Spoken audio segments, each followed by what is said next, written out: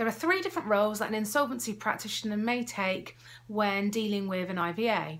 The first is an advisor, and this is when they're simply advising a debtor as to whether or not an IVA may be the best route for them.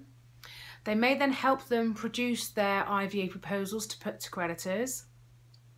The second role is as nominee. So with their nominee hat on, they will then look at these proposals and write a report to creditors as to whether or not they think they're fit, fair and feasible and effectively whether or not they believe uh, that creditors should be advised that these proposals are attractive and they should be considered favourably.